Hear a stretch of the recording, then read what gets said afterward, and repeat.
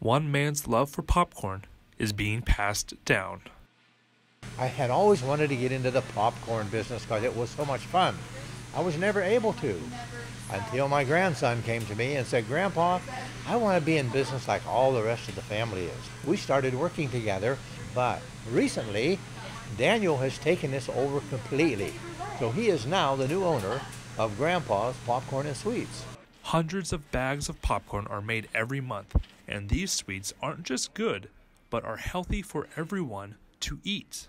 You can't get sweets, especially in the valley, that are cont- not contaminated with peanuts and tree nuts. So for have parents come in here that their kids can try anything and get anything in the store, I think that's probably my favorite part. Not only does Grandpa's have the only cotton candy tree in Fresno and unique popcorn flavors, they're also giving back to the community in a very big way. The biggest impact that we have is we are peanut and tree nut free. And we get it all the time. Parents come in, you know, finally a place where my kids can eat whatever they want and I know that they're safe.